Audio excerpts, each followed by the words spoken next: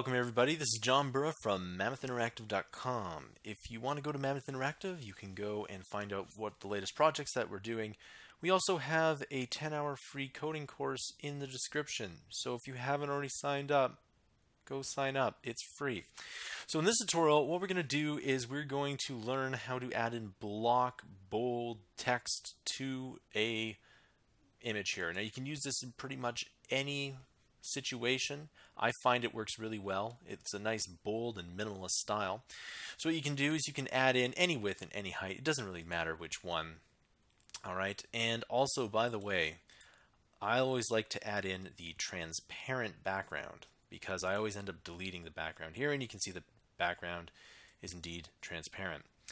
All right, so I'm going to add in an off-white. So as you can see, my RGB or red, green, blue values are 250, 250, 250. And, you know, you can also look at that hex code there too. So push OK, push G or Shift G, and you can see that the, the background is now white. Okay, I'm going to go ahead and use an off black. And I always like to use 50, 50, 50.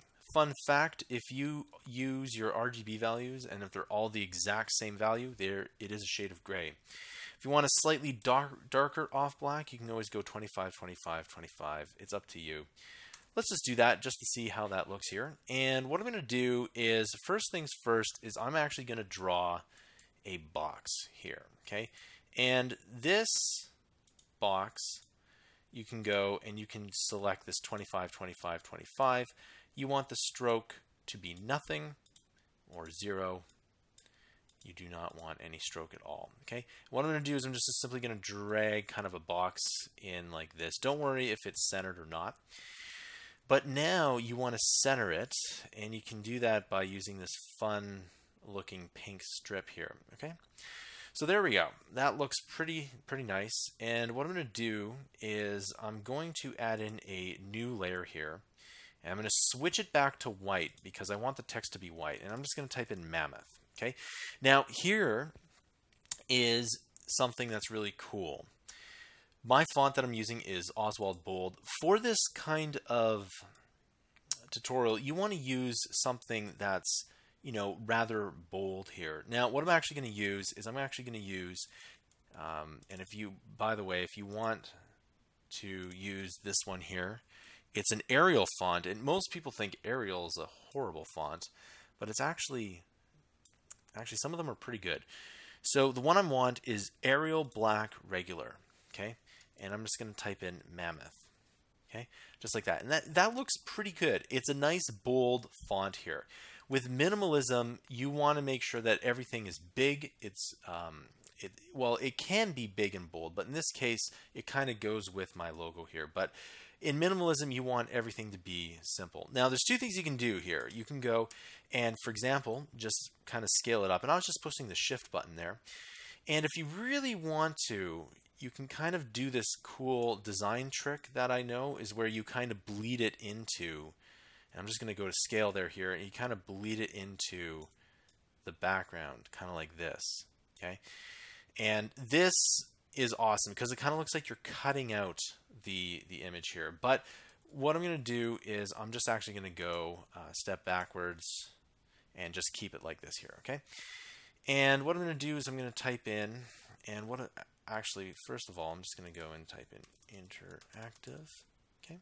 And you can use the same font or you can use a different font. It doesn't really matter.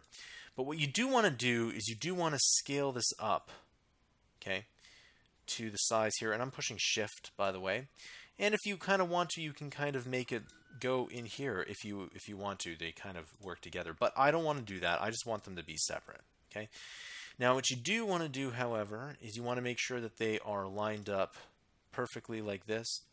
And if you go to the rectangle, you can see that the width of this is exactly 763. And if you go back to interactive here, uh, you can see that the width is 765. But one thing about text Depending on which letter is at the end, you might need to just eyeball it. Okay? And this is something that you need to know as a designer. Line up one edge and kind of, well, just look. Is that really lined up?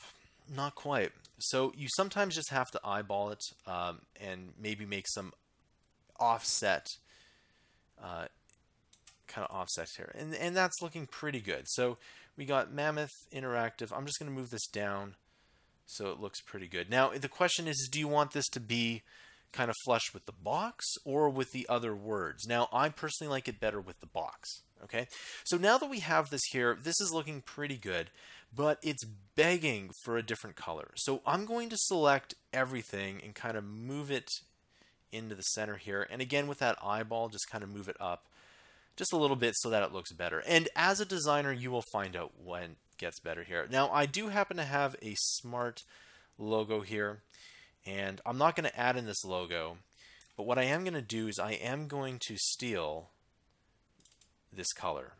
Okay, so I'm just going to steal this color here. And the question is, is do you want this to be orange or do you want this to be orange?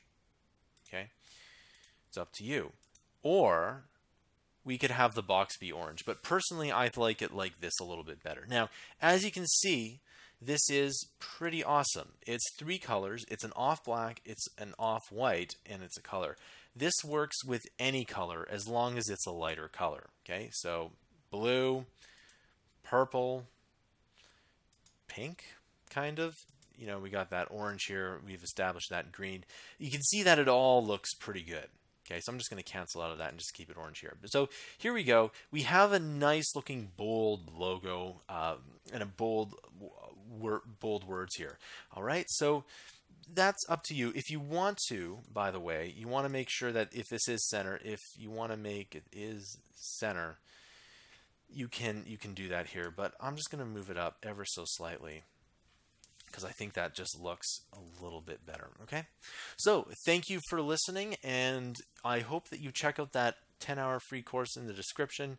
It is free, and you do get to learn a whole bunch of languages. So please, please, please go and check that out. And you can always check our Twitter account at Mammoth Company. Go to mammothinteractive.com to see what we're doing here as well as you can subscribe to our subscription where you can get tons of videos just like this one and you can learn how to build an app from scratch and upload it to the App Store, etc. All right.